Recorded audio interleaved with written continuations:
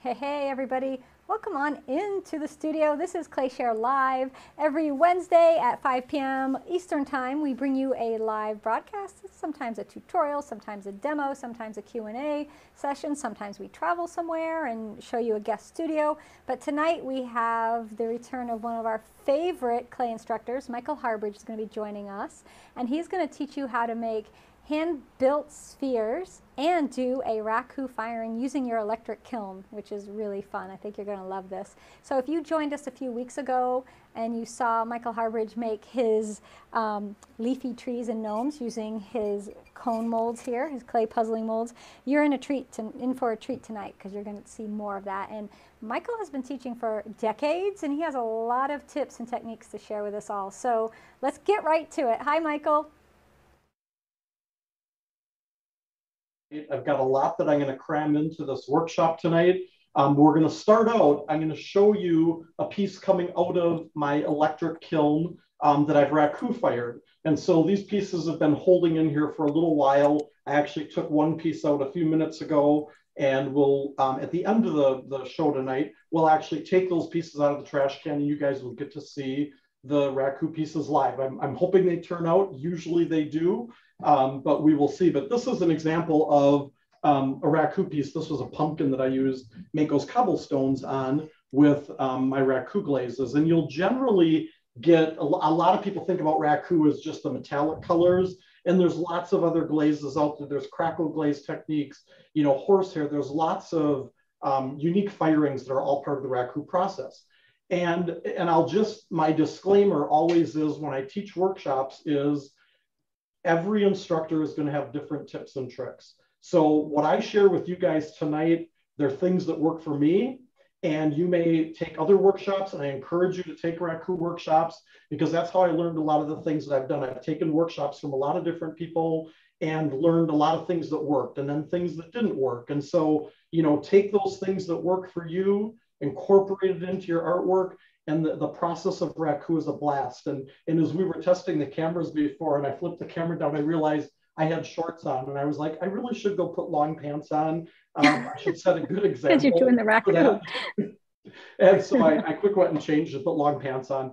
You want to do things to protect yourself. When you first do Raku the first time, most people are really intimidated because you're opening the kiln at, we're going to open it at 1680 degrees, and we're going to pull things out of there that are glowing red hot. And so, you know, things like raku gloves, leather gloves, um, you'll want, you're going to have things like raku tongs, and there are different tongs on the market. Um, Kemper makes the ones that are, are most common, and they make this one that has longer handles, and they make another one that on the end has these little teeth that stick out. I don't particularly care for the one with the little teeth. A lot of people think that they'll like that better, but what I found in workshops is sometimes when people grip their pieces, those little, there's little three little things that stick out like little nails. Sometimes your piece will slip in those as you're lifting it out, and people think they're dropping their piece and they kind of panic. And so um, I don't particularly care for those little pins on there. Plus, the handle on those is shorter. And so one of the things that I always share with people is utilize the length of those handles. Don't hold the handles way up here as you go into the kiln. The further away you can be from that heat, the better. So these long handles are ideal for going down into the kiln, reaching the pieces out. Um, another thing in workshops that I share is when if, if we're passing the tongs like to the next person, in, in my workshops, I'll allow people to take their pieces out if they feel comfortable doing it. I'll usually demonstrate the first couple pieces or take out the ones of the people who don't want to take the pieces out. But then I always tell people after you take your piece out, set the tongs down on the ground. Don't go like this and hand it to the next person who's going to grab it like this with a bare hand and burn themselves. So there's a lot of safety things that you want to keep in mind. Um, when I first started doing Raku, I had the kiln outside under our deck. And um, I took pieces out and I went and set this up against the house and we had vinyl siding and the tongs melted into the side of the house. I mean, after I did it, I was like, that was really dumb, but I learned from it and I've never done it again. And I share that with other people and, and I hear, you know, funny stories all the time as well. Um, the other thing that you'll need is um, metal trash cans. And so I've got lots of different sizes of trash cans from large to small. I've got ones that are bigger than those. I've got ones that are smaller. Generally, I go with a can that's a little bit bigger than the piece. Like a big can like this, I probably wouldn't put a little pumpkin inside there. I would put bigger pieces inside bigger cans. Keep in mind as you're building your pieces that you don't make your pieces bigger than the biggest trash can. And I say that also from experience that I did this huge bowl one time that was beautiful. I take it out of the kiln, I go to put it in the trash can, and it won't fit. It's too wide to go into the can. So, you know, keep things like that in mind. Um, we'll talk about combustible materials while we're working on the clay project. We'll talk about a lot of the different things. I want to get this first piece out of the kiln and I'll show you guys kind of what I have rigged up. And, and I'm working with electric kilns. I've also got a gas kiln. And what I really like about my electric kilns is I can control the temperature in the kiln. And so I program my pieces when I do raku firing, I go up to 1730 degrees. So I program the kiln to go at full speed, basically turning it on high all the way up to 1730. And then I do a 10 minute hold. And that 10 minute hold kind of allows for sometimes when you rapidly fire glazes like that, you can get some bubbles in the glazes. And so that 10 minute hold usually allows those bubble, bubbles to kind of settle down on the piece. And then um, I let it drop to 1680. And at 1680 degrees, then I do a several hour hold so that if I'm not there immediately when it hits 1680, the kiln will hold at that for several hours until I get there to take the pieces out. With a gas kiln, you're generally um, using a pyrometer, which I'll show you guys in a, in a minute here. You're generally using a pyrometer and you really need to babysit that kiln so that it doesn't get too hot or get too cool. And you have to adjust the, the valve on there to control the flame and the amount of heat that's going into that kiln. Now, I have worked with gas kilns where I've managed to be able to get that lever just right that it will hold around that 1680 degrees. But you really need to be present when you're working with a kiln that's not programmable. So that's one of the things that I love about the programmable kiln. A lot of people ask, does it hurt the kiln? And I had a conversation with several of the kiln manufacturers about this, and, and, and their response usually was, well, it's not good for the kiln, but no firings really are good for the kiln. And so, you know, does it really hurt the elements? Not really. Does it really hurt the brick? No. Your brick expands and contracts during firing you know, you've all, all of you that have kilns probably have a crack in the bottom of your kiln. Every kiln, people freak out when they, after the first few firings and have a crack in the bottom, they're like, oh my gosh, my kiln cracked on the bottom. Read the manual. It usually says in there that's normal to happen. So um, it doesn't really hurt the kiln. A lot of people ask about that. And several of the kiln manufacturers are like, no, it really doesn't affect it. I had, I just replaced um, one of my Raku kilns not too long ago. I usually use them for about 10 years and then I sell those kilns. And so um, in that 10 years that I had my last two Skutt kilns that were out here, I never replaced the elements on them. And I fire Raku regularly. So um, it, it, again, it doesn't, I think firing, high firing in a kiln is more um, damaging to the elements than anything with Raku firing. All right. Thank so, you. So I'm just going to let everybody know because I, I, I didn't mention earlier when I did the intro that if you have any comments or questions for Michael, if you just type them in to wherever you're watching, and then I will relay them to Michael. If it's something we've already uh, addressed and he's already answered, I'll just type in the answer for you, so he doesn't have to answer, you know, things he's already answered, just to save time because we're limited on what we can do tonight because of yeah. time. All right. Yeah. Sorry to interrupt you, Michael. Go ahead. All right, so I've got my trash can here and I've got it lined with dry newspaper. Any dry materials will work. Some people will use leaves, straw, dry grass, anything that's dry that, that will catch on fire. The reason I like newspaper is because it burns quickly and it doesn't leave what's called scarring on the pieces usually. Um, things like leaves, sometimes the stems of leaves, when you put that piece into the leaves, um, some glazes are very soft when they go in. And sometimes the stem of that leaf will embed into that glaze and then it hardens really quickly and you'll get kind of a sharp edge. And that's called scarring on your pieces. And I can always tell when I go to art shows and I'll pick up somebody's raku pieces and I'll feel the bottom and I'll be like, oh, but you use leaves or you use straw. And they're like, yeah, how'd you know? And I'm like, you know, I can tell by the texture usually that's that's on the bottom of the piece. Now, some matte glazes don't do the scarring, but some gloss glazes will.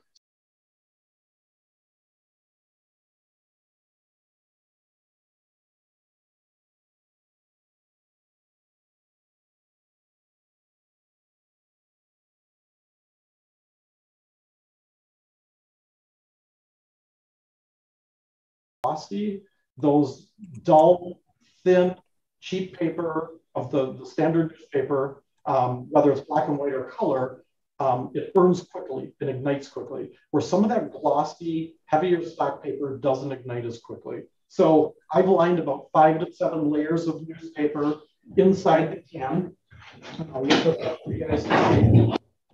And these cans are very seasoned. It is very black. It's covered with black creosote gook, and that's good. Um, just like some stoneware pieces, they say to season them, you know, baking stones and things. And so that that sticky, gooey stuff that's on there is good because you get a tighter seal with the lid. When a can is brand new, I'll usually wrap a wet towel around it the first few times that I fire, and that gives me a better seal on the lid and it cuts down on some of the smoke. But I've got newspaper lined around the sides of this can, and I've got it sitting a few feet away from the kiln, and I'm going to flip the camera down a little bit. And what I've got hooked up to the lid on my kiln is a pulley system. So I'm going to bring the camera over here. And so on the lid, I've got the metal cable that comes around and there's a hook that I can hook onto that lid and I can disconnect this when I'm not doing using the kiln for raku, because I do regular firings in this kiln. And then that cable goes up to the ceiling and there's a hook with a pulley and it's a metal pulley. And then the cable comes out from there and loops around. And that's what I usually will have somebody here who is going to help me with it. And they will grab these loops and they will pull on this open the lid Oops, I just knocked my, my thing over here. But this is what you'll get. And so I'm just going to lift it a, a little bit there by pulling on this cable with the pulley.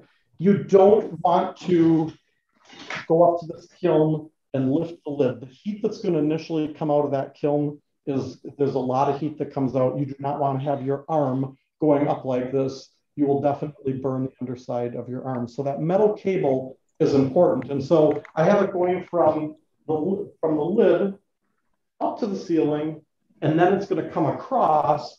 And over on this side, I've got a post with a screw. So when I'm doing this alone, I've got a loop in that cable that I can open that lid, hook that loop on there, pull a couple pieces out, and then um, I can put the lid back down, let the kiln heat back up, and take out some more pieces. So I've got two pieces in here. I've got um, one of the leaf pieces that I'm going to show you how we're going to do that tonight. And then I've also got a tree that I built, a leafy tree that I built um, in one of the last, was it two weeks ago? Um, and I've got that raku card, and I'm going to take that out tonight too. My kiln room, if, if you're going to do raku, generally one of the reasons people use gas kilns too is because they can take that kiln outside. Um, when we added the studio on a couple years ago, um, we put in this kiln room that is an indoor outdoor kiln room. And so all around me are glass doors and these open and slide out. And so there's another whole side here that opens up. So all that smoke goes out of here. And then I've got a door straight ahead of me that goes into the studio.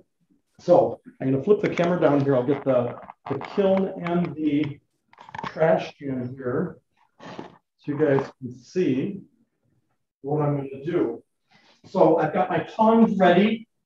I've got my lid to my trash can. I don't have it standing up on the side of the trash can because I don't have to bend over and stick my face in the flames to get that lid to put on.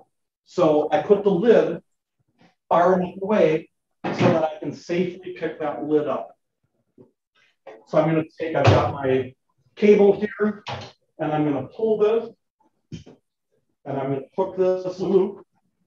And you see the kiln is blowing very hot. I want to get it just a second, and then I'm going to reach in. I'm going to pull my glowing piece out, and I'm going to set it down inside of that trash can with the combustible. Now, a lot of people think it's a huge race to see how quickly you can get the piece in the can and get the lid on the can. I let the piece flame for a little while. I let it flame for a little while and I look inside the can and make sure that the paper is engulfed well and the um, the piece, a lot of times you'll actually see the metallics developing on the piece as it's flaming. All right, so I've got that first piece out, and I'm going to bring the second piece out. And this one is going to be the leafy tree.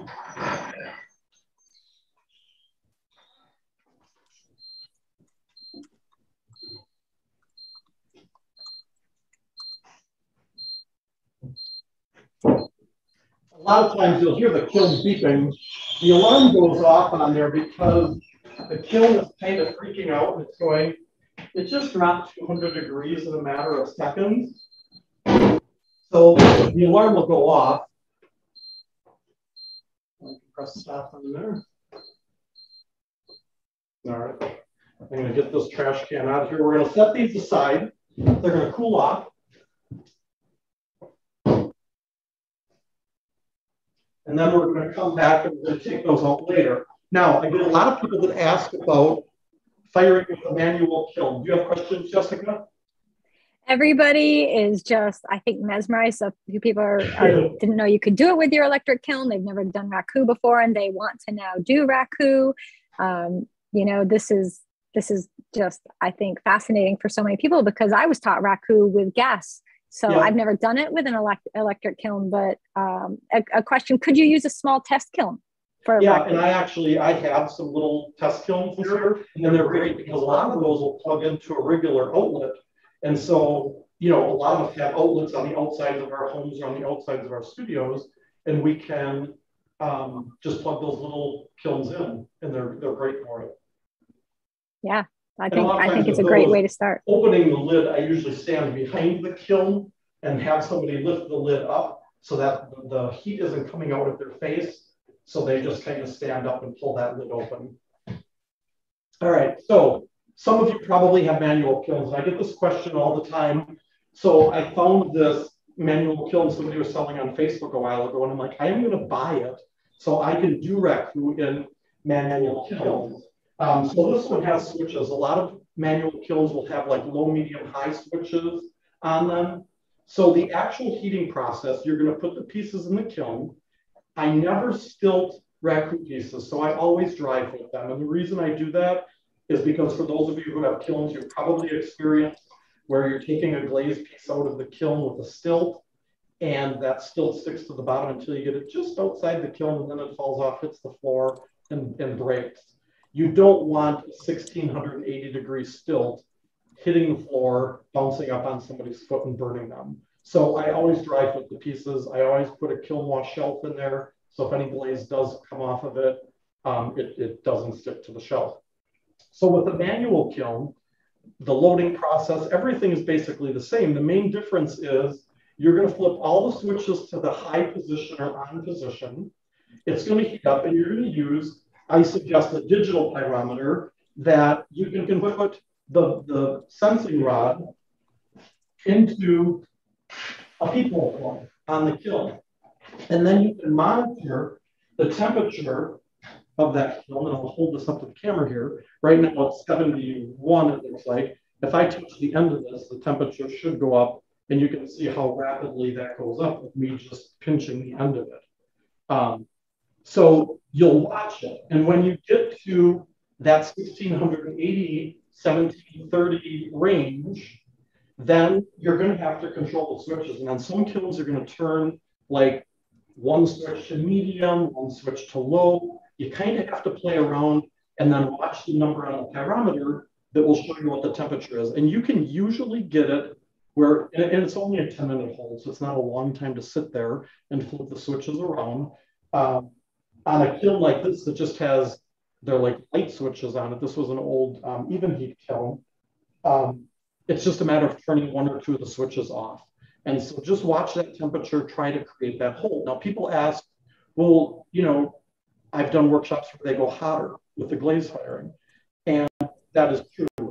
I've taken workshops where they do hotter fires as well. And I found that me personally, I get better results when I go the cooler temperature. So 1730 is my maximum temperature. I hold for 10 minutes. I let it drop to 1680, and that's where I do a long hold so I can take the pieces out at 1680. Now, if I take one or two pieces out and the kiln drops down to 1530 degrees, I want to close that kiln up and let it get back up to that 1680 range before I take. You'll a lot of times you'll have two kilns, by the time the cans. So we're getting a Michael. We're getting a bit of an echo. I don't know if your second camera is picking up audio as well as your first. Maybe I'm not sure. Kevin, do you do you get the audio? I'm getting an echo on my end too, and I saw a few people. Yeah, I can mention see the, the um, I don't know if Kevin can mute that one or if I need to, but um, can you mute the other camera, Kev? Sorry, everybody. Yeah, I'm sorry. Technology. Yay. No, it's okay. We'll get it fixed. Okay. It looks like we're just excited we get two cameras with you, and that way we can be out in the kiln room with the raku, and then back in when you uh, do the tutorial. Yeah. So, so yeah, basically, you're doing the exact same thing with this. You're just monitoring the temperature with this. The cone that you put in usually go a little bit higher. You're going. People will say, "Well, I'll just prop up the, the weight and push in the plunger, and I won't worry about cone." And that's really dangerous because if you forget about that, that kiln is going to continue to heat up. So always go like an 06 is a little bit hotter than what 1730 is. And that way the kiln will shut off if you forget about it um, by having that cone in there. And then always throw that cone out after you're done doing that firing. Don't reuse that cone. All right. It's a lot when people want to do a hold and yeah, that's great. One other quick thing I'm going to mention with these tongs, always have an Allen wrench handy. Um, I've gone to a lot of studios where when these, um, when this little thumb screw gets loose in here from opening and closing, the tips of these tongs want to crisscross one another. They, and it's just this little screw here that the Allen wrench fits into. Every once in a while, I tighten that so that my tongs meet up. If they start crisscrossing, you're going to have issues when you're pulling those pieces out of the kiln where they're going to want to crisscross and it's going to feel like you're dropping your pieces. All right. So we are going to go, I'm going to go just a bit four steps away into the studio here and I'll have Kevin flip over to that other camera and then we're going to come out at the end tonight and I'm just going to bring the trash cans in and we'll take the pieces out and reveal what you guys will see in the trash cans. All right. Yeah. Fantastic. So again, if you have questions, type them in. I'll pass them along to Michael. Now, Michael did say that he, in the beginning, if you missed it, he did mention that it is no harder on your kiln to use your electric kiln for raku firings than just a regular firing in your electric kiln. So I've seen a lot of questions about that, that people are concerned if it would wear their kiln faster, wear them out faster, but it doesn't. So, and you can use it for raku firing, and then you can do a firing that is just a regular firing. So use the same kiln. You don't need a separate kiln for it. Yep. Yeah. Last night I fired some stoneware in that same kiln. And this is, so this is the technique that we're going to do tonight. And one of the pieces that I put into the, the trash can out there was a smaller version of this one. And I did it with raku glazes. I did it with a, a gloss and there's areas I wiped back and then there's the area of the leaves. I just did solid glaze on the leaves. This is a low fire um, this was done on low fire clay um, using Mayco Stroke and Coat for the colors. I'll talk about what we did there. And then it's their copper aventurine that I used on the bottom on this bark texture. Um, this vase was done, um, this was stoneware. This was um, Continental Clay's buff stoneware, just a, a buff colored stoneware. And um, I used Mayco Stroke and Coat on the leaves here as well. And this was, I fired to cone five last night. And so you get nice, bright, vibrant colors with stroke and coat. And if you look at, if I put these two next to each other, you've got, you know, the same bright vibrancy using the same colors on there. The bottom of the piece I used, uh, I left the bottle out here because I knew I'd forget. copper jade on the bottom and, and I wanted to pick up that texture of the bark on there. The top is just black stroke and coat over that texture just wiped back.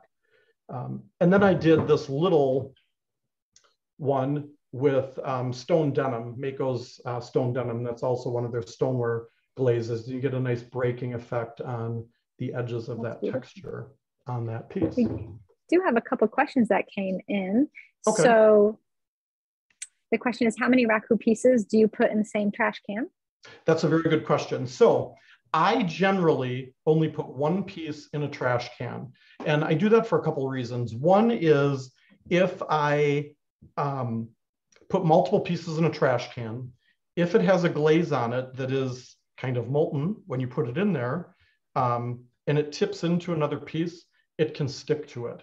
Um, so you have to be very, very careful. The other thing is when you put a piece into the trash can and you wait to get another piece out of the kiln and get it into that same trash can, you are letting that piece in the can cool a little bit more and more oxygen is getting to it. And a lot of people will take and throw more combustibles on top of it and kind of smother the piece to keep it warm. And I find with a lot of my raku pieces, generally if the pieces get smothered, I get a lot more copper. I don't get as many other colors on there. So I don't like to smother my pieces unless if I've got somebody that's like, I just want all copper on my piece. And then I try to smother it and sometimes it works and sometimes it doesn't. There are so many variables that affect Raku that when I get people that are like, I want lots of blues and purples. Well, good luck with that. Um, it, there is no, I mean, there are little tips and tricks that, like I said, with the, getting more copper, that if I smother the piece, I find that, that I get more copper. Um, but it's really how quickly you fire it, what glazes you use, um, the temperature outside, how windy it is outside, how damp it is, all of that stuff affects the raku process. So, so just one, I just do one piece in a can. That was got, do you, that. yeah, that's okay. We had a couple more. Do you like the K2 Instruments pyrometer the best? I do. It's it's inexpensive um, compared to some others. I know there are better ones on the market, but I've had that pyrometer I have used for years and years. I think I've replaced the battery in it twice, and it has served its purpose very well for me. Good, good. I ordered one uh, on Amazon a few years ago because it was really inexpensive. Or no, it wasn't on Amazon. It was through um, Wish.com, and it came and it only had Celsius reading. It didn't have Fahrenheit.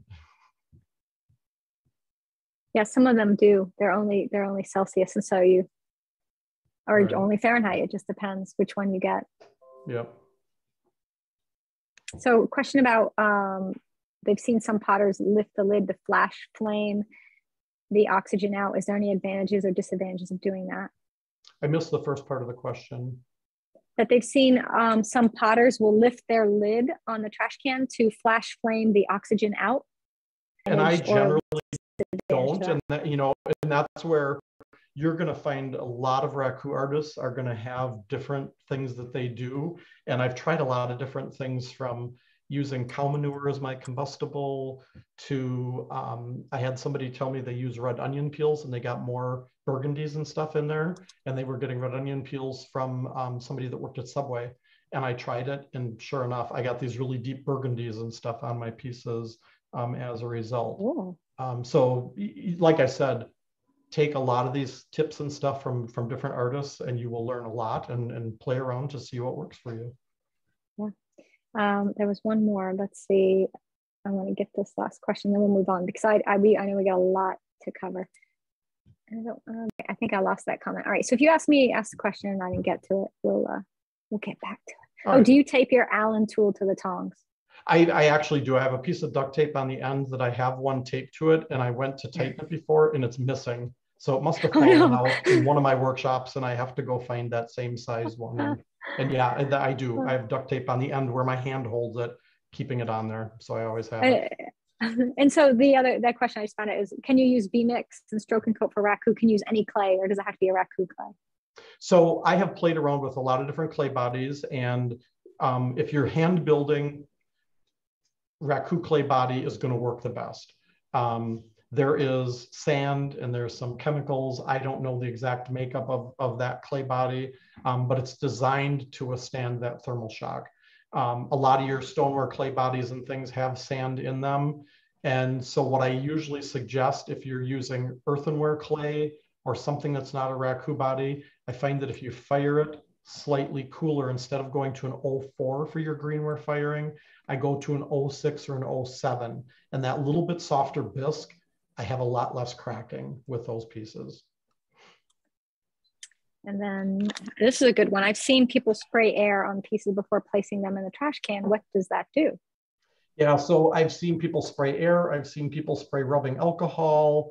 Um, there's lots of different things. And so, and, and I've seen people, you know, put it in the trash can and take it out and dunk it in water or spray it with water. And one of the first workshops that I took, um, we were spraying water on it and half of the pieces in the workshop were splitting. And I was like, I am not going to teach a workshop and disappoint all those people with um, having pieces break. And so air spraying onto the piece, I think would kind of cause the piece to get um, to develop quicker and you might get some type of rings or some, something. I've never tried that on the piece. I tried the rubbing alcohol on it and I really didn't get much different results. The, the technique that I do is simple. We leave it in the can for at least 15 minutes. The longer I leave it in there, the better, but usually after 15 minutes, my colors have developed in there. But if I take it out and it's really hot and it hits the cool air, those colors can change while um, the, the um, pieces are, are cooling when the cool air hits it. So you don't want to take it out too soon. Okay. All right. All right. So I've got, um, is, am, are we getting an echo again? I could see my other camera lighting up. Let me, I'm, I'm not hearing an echo on my end. Okay, if so anybody does, good. I'll yeah, if, if you all out there listening, if you hear an echo, let us know and we'll do what we need to do to take care of it. All right. So what I'm doing now to build these pieces and to do this with the leaves, and you're probably like, oh my gosh, Mike, you do everything with leaves. I love leaves and I love these leaf forms and I love to show people multiple ways to use products after they buy them. So this is a new um, series of molds. These are some new flat bottom sphere shapes.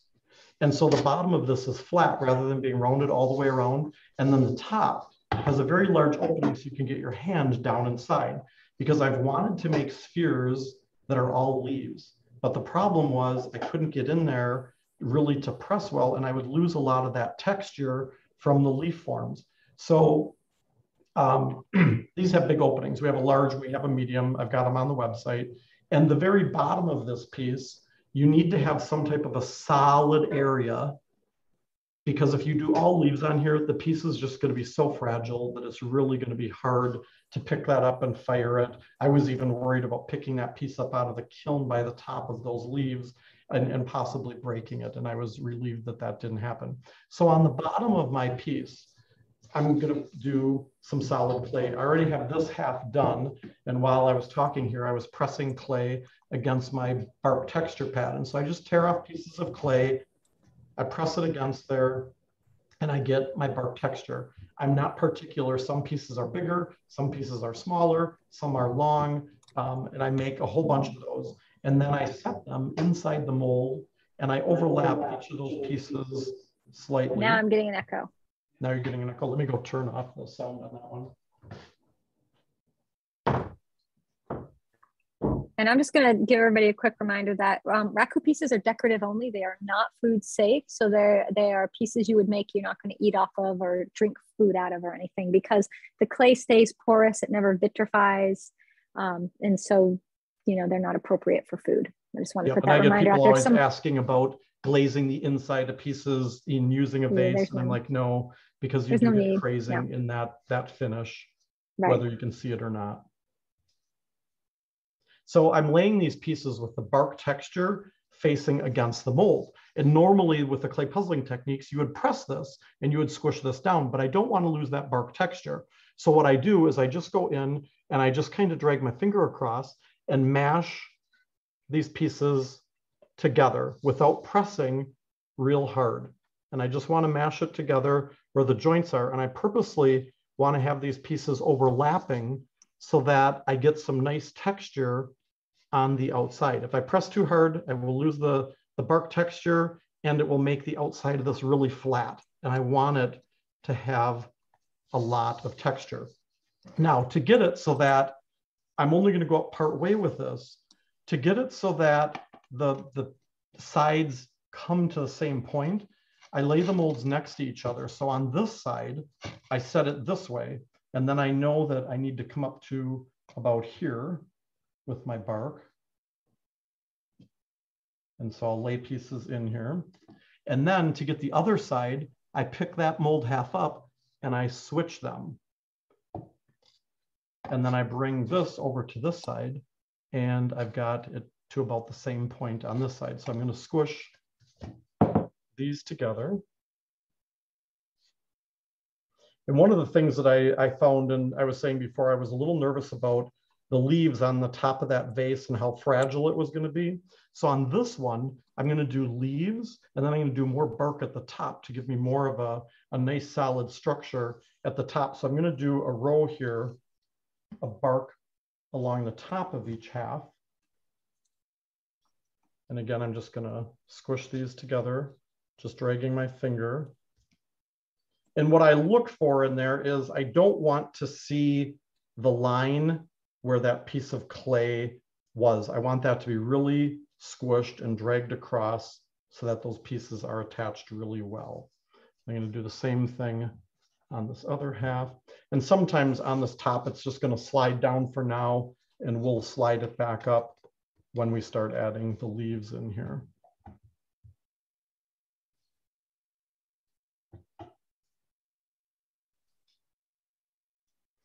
All right, I'm gonna set that aside. The rubber leaves, if you missed that in my last live, these are flexible rubber leaves. I tear off a piece of clay that is about a quarter to a half an inch thick, and I press the rubber leaf into the clay, just using my thumb. And instead of cutting around it, I just pull the clay away from the edges. I get the majority of that clay pulled away and then I flip it over and I use my thumb to bevel the edge just to get the edge of this thin. And then this oak leaf, I always show this one first because this has some kind of tight areas in here. Then I'll take my finger from the back side and I'll kind of pull up in where those indentations are to get that excess clay out of those areas. If I can't get it out with my finger, sometimes I'll use a wooden tool to do that. And then I just pull the leaf away and I've got my clay leaf. Now I'm gonna lay these face down and I'm going to have them overlap the bark area just slightly. And then I'm gonna do the same thing. I'm just gonna take and drag my finger to attach that leaf into the bark and continue. So I'll make a whole bunch of, of leaves here using the different shapes.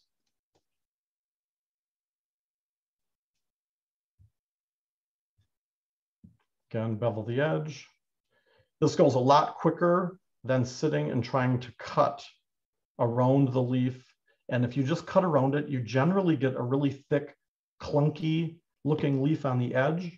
And I want it to be thin on the edge. But if you try to make the clay too thin, the clay won't peel away from your leaf form. So if you go to peel that clay away and it's ripping and tearing and sticking to the rubber leaf form, it's usually because you've got the clay too thin. So between a quarter to a half an inch thick on something like this, and then bevel just the edge. So the edge of it is thin, but the heart of the leaf is nice and thick and durable. I had a question. Do you have a favorite raku clay and glaze brand that you use? Um, I work primarily with Continental Clay. I'm in Wisconsin. Continental Clay is in Minneapolis, and I order clay by the skid from Continental, and that is my preference just because of location. I think they make a good clay, um, and I work with their Raku clay. I work with their uh, stoneware clays. I work with their low fire white, their low fire red. I've used a lot of their clay bodies and have been very happy with it. And they're a good company to work with. But I always tell people find something local. If you can go pick it up and you don't have to pay shipping, on clay, that's a whole lot smarter than paying a fortune to have clay shipped across the country, unless if it's a, a clay body that you just love and it's you know so unique that you uh, prefer to work with that. Yeah, clay is expensive to have shipped. If you can if you can pick it up nearby with a like a you know hour or less drive, I totally think it's worth it. Yep. And for me to, to drive to Minneapolis, it's about a seven hour drive. Yeah, that's a little far. I wouldn't do seven hours. Yeah. And it, you know, for a few hundred dollars to have a, a skid of it shipped and have them show up with a semi, wheel it off of the semi, put it in my garage. That's easier than driving and, and picking it up and, and doing that. Now, as far as glazes, um, I've worked with a lot of different glazes from the different manufacturers. And kind of a funny story, I had used um, when Mayco first came out with their glazes. Um, we I was at NCECA and I was there for for Royal Brush. And when you have a booth full of brushes, it's kind of boring and isn't quite as appealing as a booth that has a bunch of cool artwork in it. And so I took some raku pieces and had it on our table and it got people to come up and and talk to us and ask about the raku and then we would you know talk to them about brushes.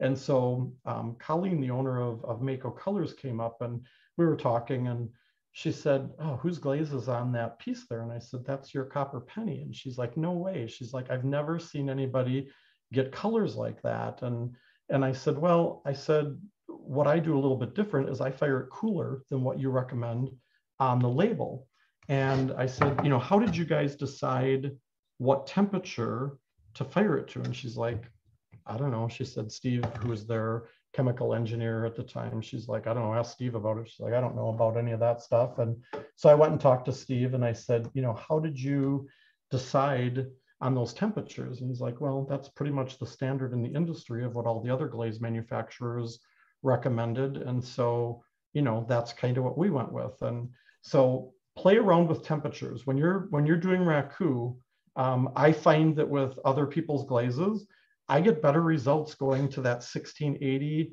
you know, the 1730 and pulling at 1680. Um, some of them go a lot hotter, go up into the 1800s, um, or it's recommended 1800s on their label. So play around and try different temperatures. Um, I have my own line of raku glazes. I've got four colors. I've got a gloss finish, which is my jade gloss. I've got, and that I used on one of the pieces that we'll take out in a little while.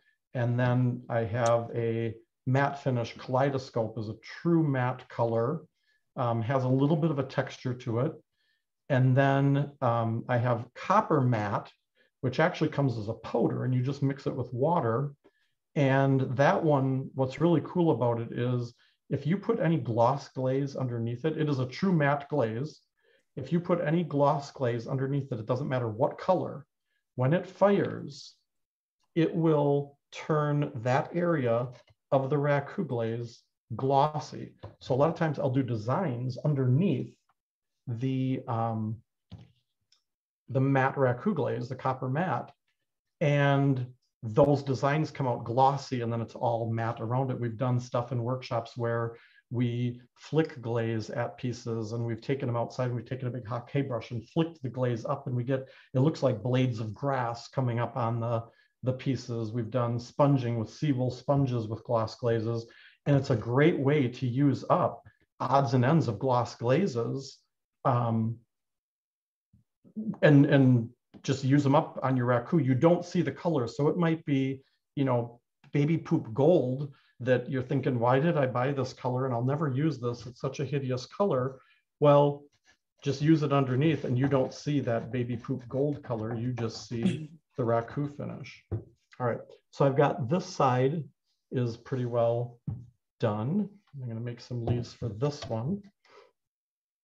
And then I also have one called Duck Feathers, which is kind of a satin finish. It has a little bit of a sheen, um, but it's, it's fairly matte. And they all are um, what I'm going to call copper bearing glazes, um, that they will all get various metallic finishes. Um, you'll get uh, blues and purples and fuchsias and coppers and oranges. And sometimes you'll get bright gold colors in there. Um, one raku artist told me that um, fuchsias and purples are usually kind of the hardest colors to get in your raku firing. So when you get purple and fuchsia, you've done something right. Um, then try replicating it to get, you know, if you do the exact same thing again, there are so many variables that can affect the raku that you may or may not get the exact same result the next time you fire. I have a question about the term skid because we don't use that here. So is it this, the same as a pallet? Is a thousand pounds? Is that what a skid of clay is? Yeah, so yeah, pallet of, of clay is, uh, I think I usually get about 2,500 pounds of So you get a little more than a ton yeah, of clay because yeah. that'd be 'Cause I'm usually 2,000, getting 2,500. four or five different types of clay at a time. And So I've you're just a- using the term skid as a, the pallet that everything's all piled pallet, yeah. onto. It's not necessarily an amount of clay. It's however much you want and you like It's right, a, 2,500 a skid, in Wisconsin, a skid is a pallet. I know we have some different, different ways of saying things. People tell me I have an accent. I don't think I have an accent. Well, you know, I don't think you have an accent either, Michael. Not at all. I travel a Uh, lot. I so- get a lot of people saying that. Uh, would you hold up one of the leaves um, after you peel it off to the camera so people can see the details of the veins? I my camera's Yeah. my my screen's a little fuzzy. There you go. I can see that crystal clear. So this though. is one of the dahlia leaves. This is the oak leaf, and these were made from real leaves. This this company that makes these, and I have these on my website, and um, I just put in another order with her yesterday. I thought we had enough leaves ordered, and the orders keep coming in for them, and I sent her another order yesterday, and she's like, "Oh, you're killing me." Because they hand these are all they're made in the U.S. and it's a family-run business, and she's thrilled. I mean, she she's given me a hard time that I'm killing her, but I'm like, yeah, your bank account is loving it though. And she's like, yeah, it is. Oh, it's She's like, good we for small businesses to be busy. Yeah. Right. And and so they have to like hand pour these. And then when they come out of the mold, they have to cut around them and cut these out. And I'm just like, oh my gosh. And like the holly leaves, we've sold thousands of holly leaves. And I'm thinking, oh my gosh, cutting those out. And I look at some of these like this is a mum leaf. And I'm like, some of these and the oak leaf, like cutting around all of those. I'm like, oh, you must have blisters on your fingers. And Yeah, so- that's, that's a tedious job. What size Yeah. leaves are you using? So these range from about an inch and a half up to about four inch leaves. Um, there's an assortment of small leaves, which most people have done the small assortment. Um, and that works great for these. You get into the medium leaves, like this is a hydrangea leaf, you know, compared to the dahlia. Um, you know, that hydrangea is, is a great leaf too, but it's, it's getting into the bigger sizes. So there's large leaves, medium leaves and small leaves. The large leaves, I mean, there's big rhubarb leaves that are, are gigantic. All right, I've just about got this done. I'm gonna add a couple more leaves in here and then we'll put it together and I'll show you how you can join these pieces.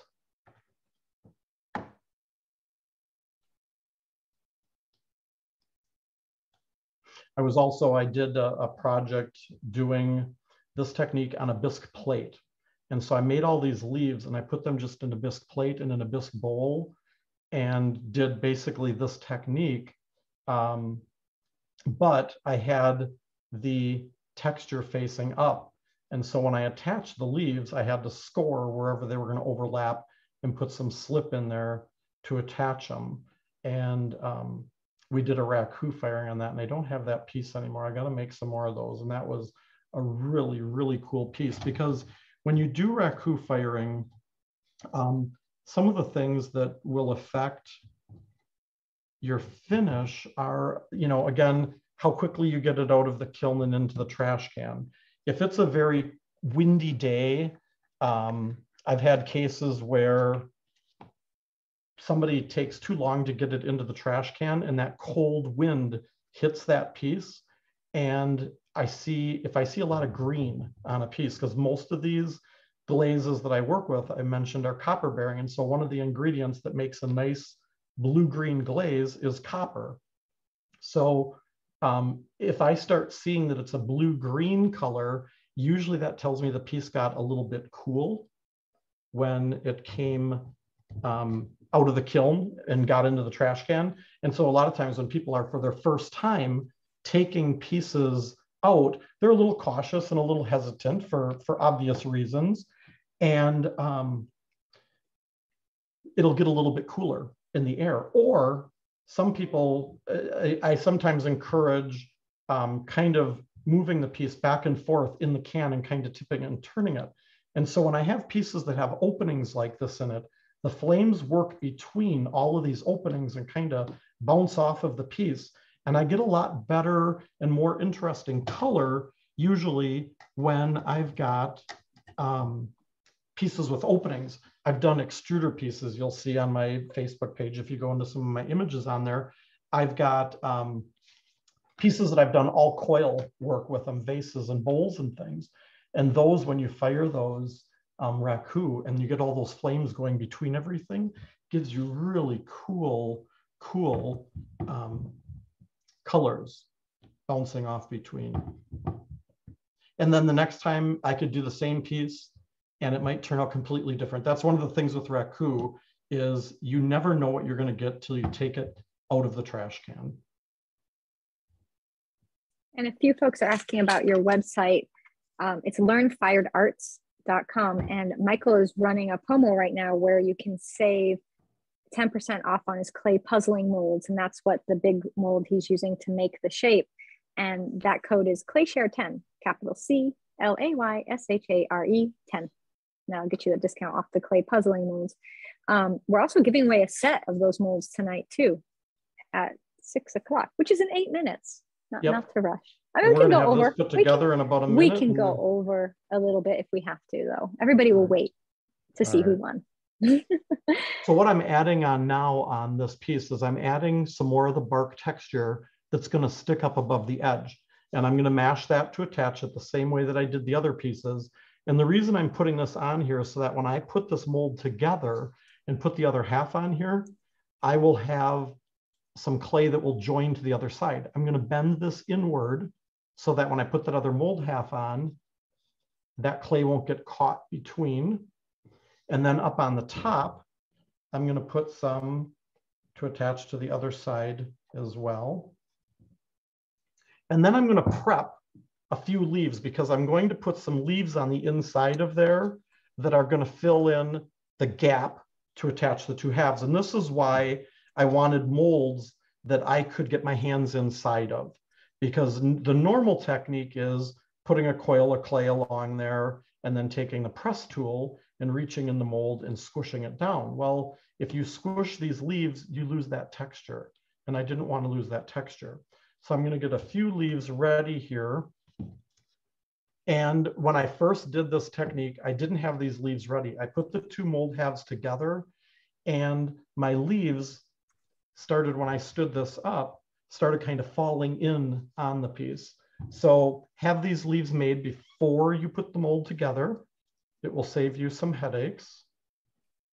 I still learn things every time I do techniques.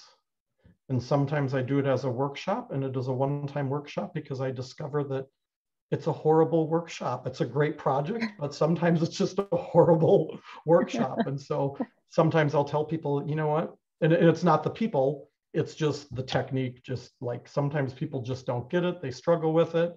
And so um, sometimes I'm like, yeah, I'm, I'm not going to do that as a workshop again.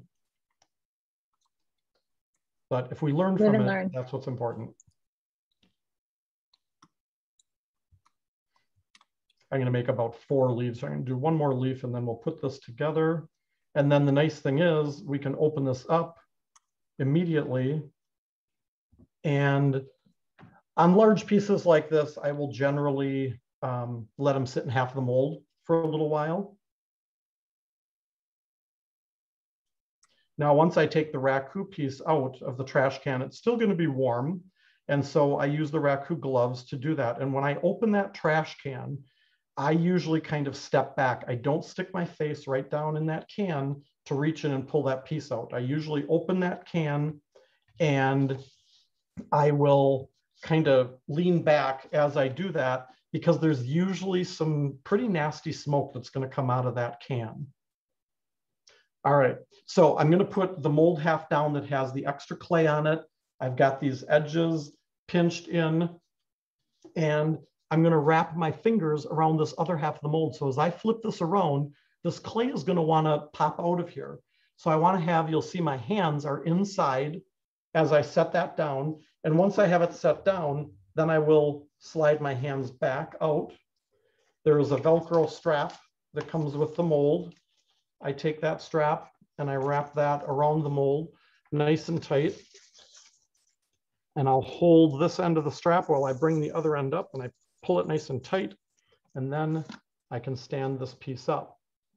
And it's probably going to be hard for you guys to see on the inside, but what I'm doing is I'm reaching in in the top and where my pieces of bark were on the top, I'm just kind of gently squishing that. I'm using my thumbs to kind of go in and squish that to both sides to make sure that that's attached on the top. And then I'm gonna go into the bottom where it overlaps and I'm gonna take that clay. And so I've got on the bottom, I basically have clay on this side of the mold, and then I've got that piece of clay that's kind of overlapping it. I'm just reaching in and I'm squishing that together like I did on all of those bark pieces. Again, I don't want to reach in with the press tool and do this because if I just press straight down, I'm going to um, lose my texture. So I'm going to use the, the flashlight here.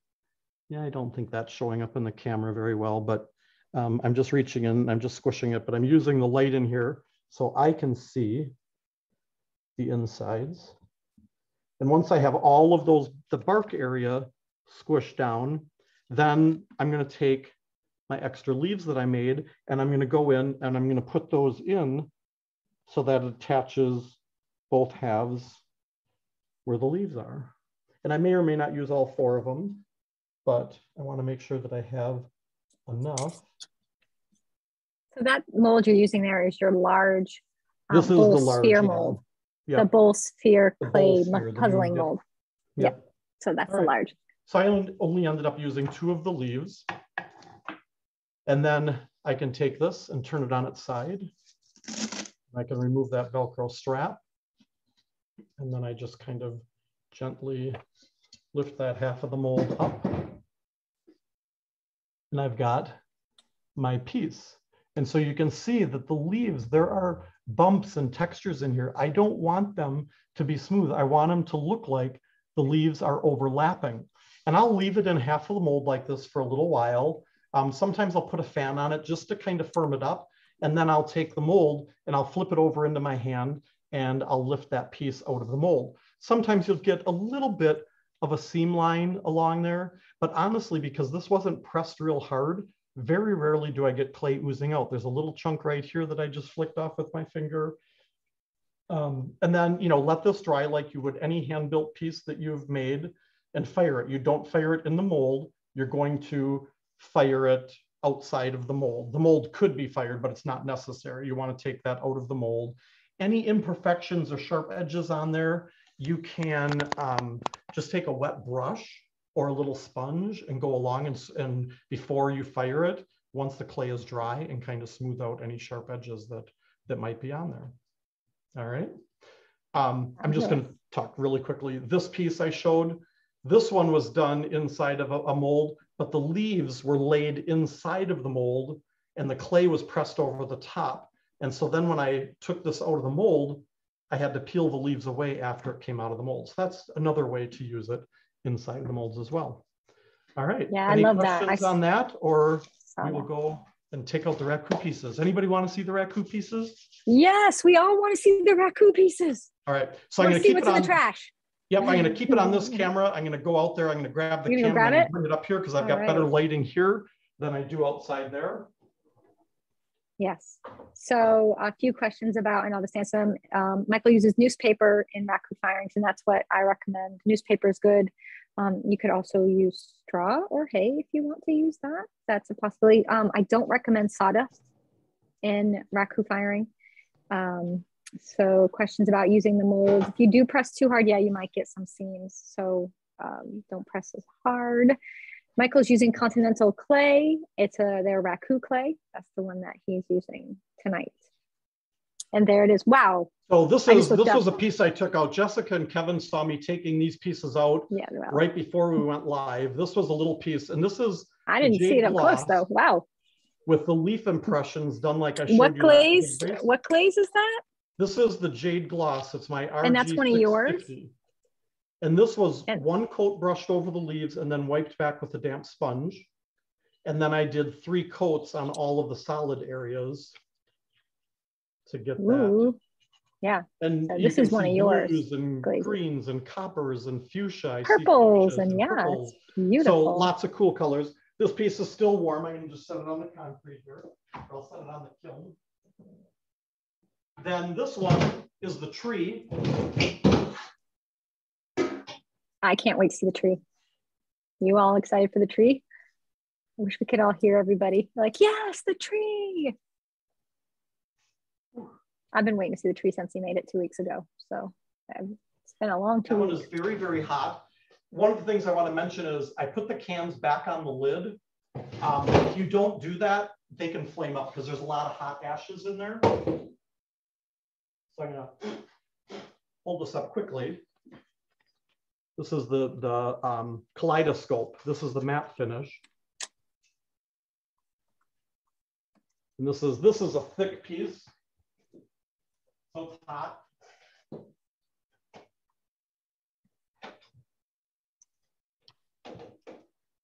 And this is the one that I was really dying to see. You can see some smoke still coming out of that can. This is what I don't oh, yeah. want to be breathing in.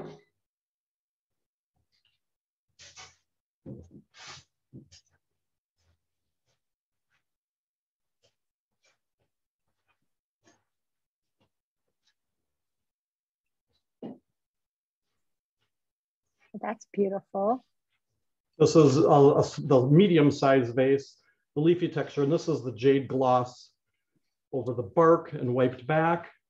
And then three coats on the leaves, and that is very hot. I'll set that on my bark texture pad. That's just jade gloss on that as well for a glaze. Yeah. And it looks totally different than the other one. So it's a, a completely different look because yeah. it has more of the gold. And so this one out. has a lot of greens, a lot of gold. Mm-hmm. Yeah, a lot of green and gold um, in that.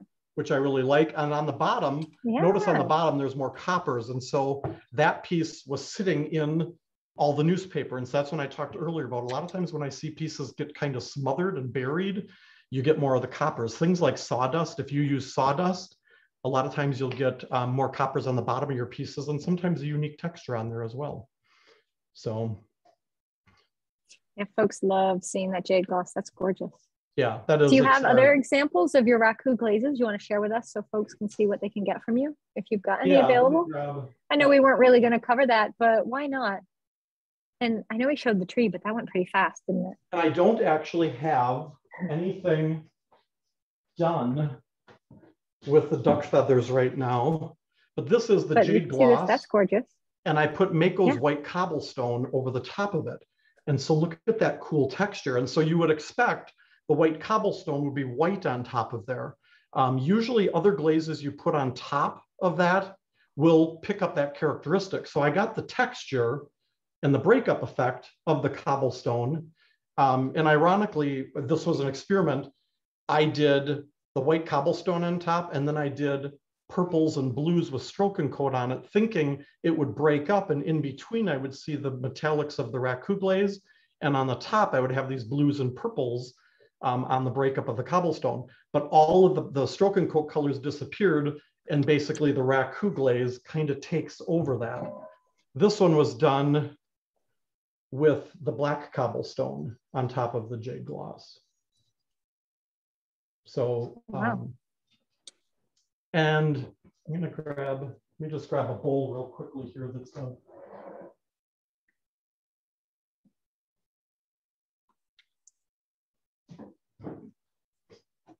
This piece was done, this is when I was talking about the coil pieces.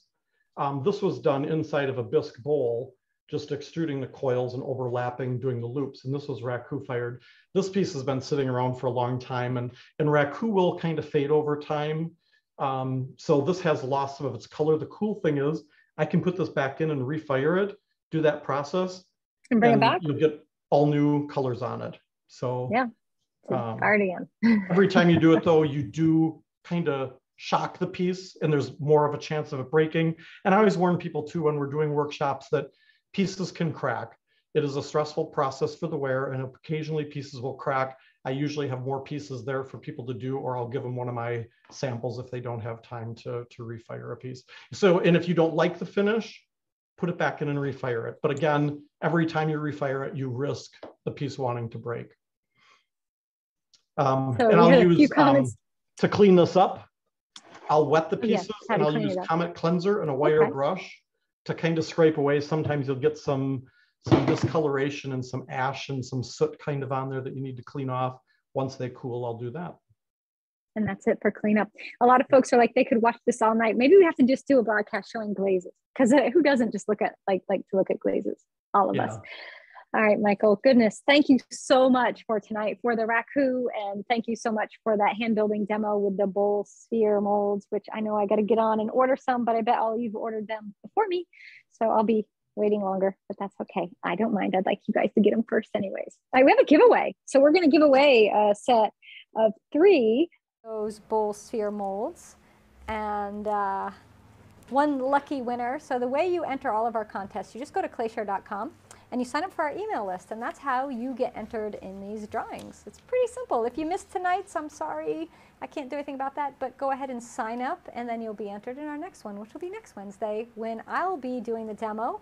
I'm going to be using some of Michael's small pumpkin molds, and we're going to make I'm not going to tell you what it is, but it's a really sweet little project, and I think you're all going to love it. And we're going to be giving away a set of those molds next week as well. All right, so the winner of this week's prize of the set of three sphere molds. And uh, don't worry, everybody's a winner because this whole month long, Michael is doing a promo with Clayshare.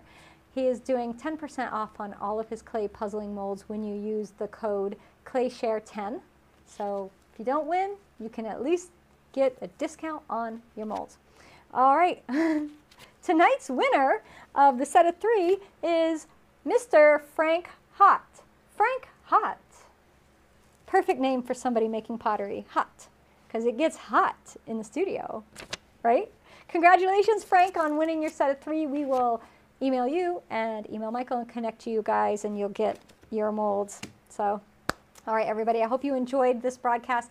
It's going to be available for replay forever, so you can come back and use this as a really great resource if you're just learning about Raku. I love the idea of using an electric kiln instead of getting yourself a gas kiln if you're just starting out, because not everybody has access to a gas kiln.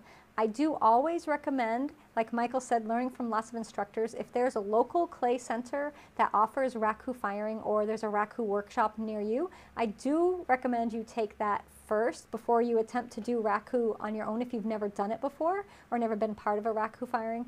But it's something that once you've done it, you, it kind of gets in your blood and you can't stop doing it. I know I love raku firing. All right, everyone. Be well. Michael, thank you so much for spending the evening with us. Take care.